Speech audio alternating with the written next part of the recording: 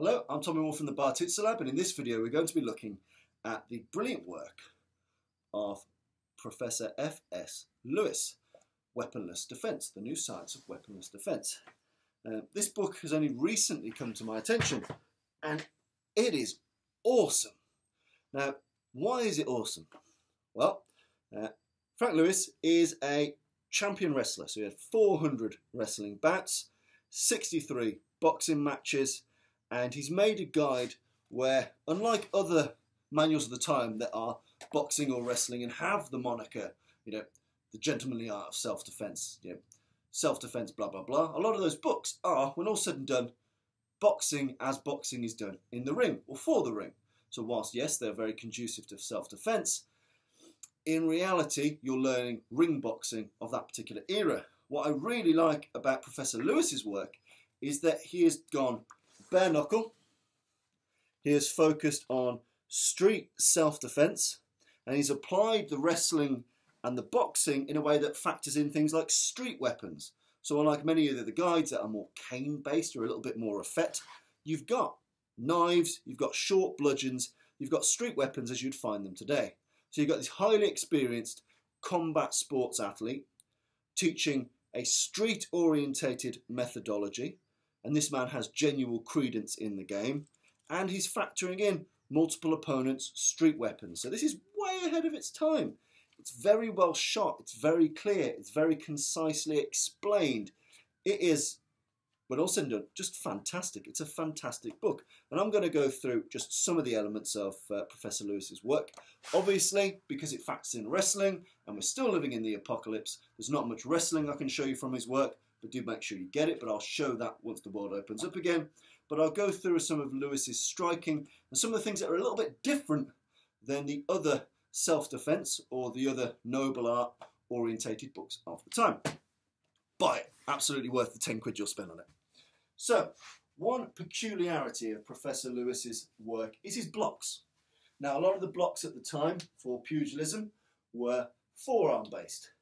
Down low, up high, you get some sort of parries and covers. You get covers, parries, and these hard traditional blocks that you see in early pugilism. Professor Lewis has people blocking, or I should rather say deflecting, using the soft inner part of the forearm.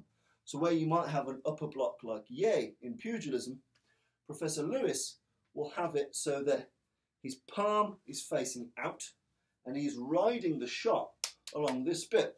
Uh, many of you, if you follow Asian martial arts, you might be familiar with something like a bong sao. Again, it's not quite a bong sao, but it is to deflect or to ride the technique. So he's using this relatively soft portion to roll the shots. And it's palm based, so palm down low, palm down low, palm up high, palm up high. Why might you do that? Well, if you think about this man, he's a prolific wrestler. Wrestling is his base. And if he's rolling this here, so let's say he's rolling against that shot, having his hand open and keeping the motion coming forward allows him to grip and seize and grapple really easily. He can roll and seize. After which point then, if he's rolled and he's seized, we can move into strikes from a position of attachment, bang, which is much easier, or we can just move on and wrestle him because we've already got the grapple. He's struck, we've deflected, we've grappled, and I should hopefully attain the victory. So again, these softer kind of rolling, open-handed blocks of Lewis are really conducive to either street striking from an attachment, bang, bang, or street grappling. So again, very interesting, nuanced way. We've got Professor Lewis's safety block. So his safety block is essentially thus. He will turn and cover, so he'll bar himself with one hand. He will use his shoulder, the meat of his shoulder to cover his jaw, and the hand for extra surety.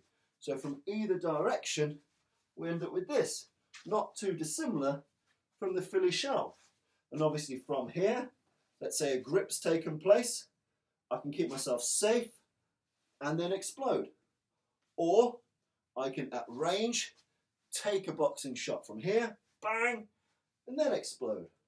Or I can take a shot from the safety stance and then crash in for my underhooks for a grapple. But either way, turning, barring, and using the hand is important. But important note, it's not just the hand that's protecting the jaw. You'd be foolish to think that a hand here would stop the percussive impact of a punch.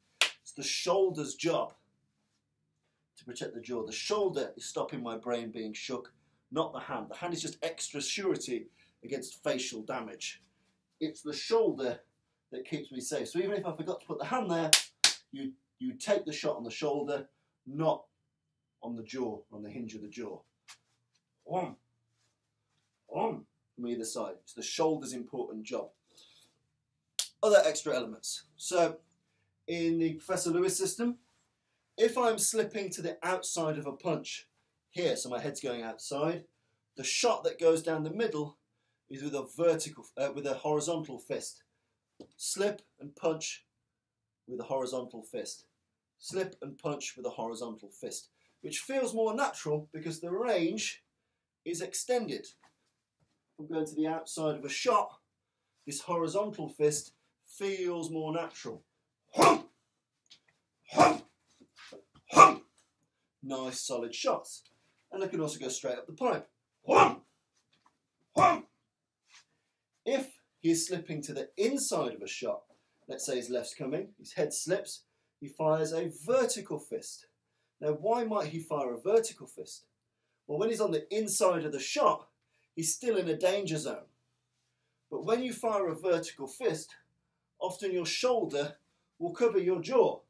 So if I'm slipping to the inside of his right hook, bam, and firing in that vertical fist shot, my shoulder gives me added protection. So if I'm slipping to the inside, just a little, just a little, just a little, so I'm moving my head inside the punch. This is the most direct means to hit him, and it keeps me safe around the outside. So it's a very intuitive, street orientated system because it factors in the hands being a lot less bulky than the gloves. You know, the gloves at the time were very small anyway, but even so, it covers the gaps. So slipping to the outside, horizontal fist, slipping to the inside of the shot, vertical fist. Nice and simple, very, very cool. What you also see is very prolific use of the palm stop. Now with the palm, again, we're looking at a system which synthesizes wrestling and boxing for street self-defense. And what Professor Lewis does is essentially he stuffs techniques before they happen to him. So he'll shove hard on the left or the right shoulder with his palm. And again, Jack Johnson and many early boxers were buggers for this. They'll either shove you and hit you, or they'll just keep applying pressure so they neuter the ability to do that shot. Have someone much smaller and weaker than you shove hard on your shoulder when you try and punch. Even with a disparity of force, you getting hard shoulder shoves makes throwing a decent shot just an absolute bloody nightmare. So whether it's the same side shove or a cross shove, I quite like a cross shove, bang, because it covers my head one side from punches, and then I can fire my own. So I cover myself from his big right hand, which is likely to be his street weapon, so I've turned him just a little and smashed in something else. So that cross shove or that same side shove is really quite a cool technique. Or what he'll do, assuming that the opponent's got a guard up, is he'll neuter that hand by placing his on top. So he'll just stuff where your hand is. If you've got a decent guard, he'll put a hand over the top, just stuff it. So he'll either stuff your shoulder and hit you, cross stuff your shoulder and hit you, or touch the top of your hands, top of your gloves. Get hand, you know, you think about his wrestling background, hand fighting is really key. So he's essentially applying hand fighting and then pugilism. Hand fighting and then pugilism. It's fascinating. Then we can look at some other things. So he's got some very good work in his dirty boxing, his kidney hooks. So again, he comes round with a almost a Slavic-esque thumb down notion right into the kidneys. And this can be at range bang, or up close. Either way, he uses this to sneak around the back of the opponent. Kidney punches, lovely, lovely, nasty shots, very nasty shots. He's very prolific in his time for his shoulder parry. So you saw, saw the safety guards. You know, it's one of the earliest mentions we see of people shoulder stopping. So Professor Frank is shoulder stopping and using that to load up a shot. Cover, shot, cover, shot. Which is really good because it matches the natural flinch reaction of shit, something's gone my way, whether it's a bottle being thrown, a punch, whatever. I've gone shit, covered with my shoulder, which has wound me up, whoop, for the next shot. Lovely stuff. Lovely, lovely stuff. What you also see is um, Professor Lewis's work when it comes to simultaneous blocking and hitting. Now, doing this or doing this is very common in historical pugilism. What Professor Frank does, obviously remember his type of guard, something like this. He will throw it even if a punch isn't incoming.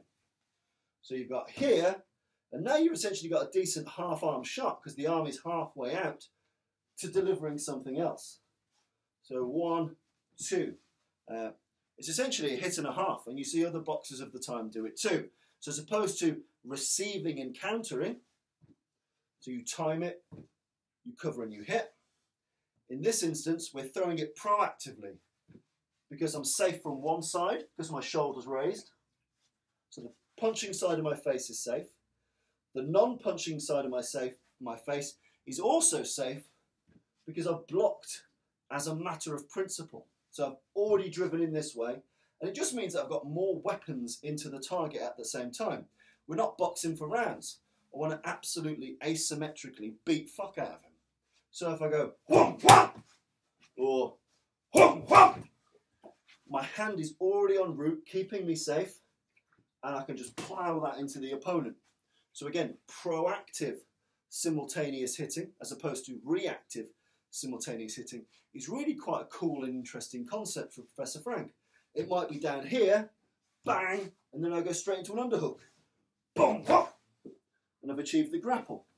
So starting your journey out like so is a really cool way to have a two-fisted or two-handed offense against the opponent, keeping you safe, but making sure that you're offensive at all times, which is really, really very important.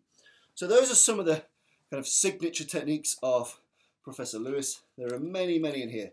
The book doesn't fanny around. It goes straight into the material. Huge, huge number of pictures, scenarios, weapons, wrestling, boxing, synthesizing them together. Absolutely recommend you buy the book, give it a go, have a play, because for my money, it's one of the most holistic pieces of unarmed historical European martial arts we've ever had. Very cool. Give it a go.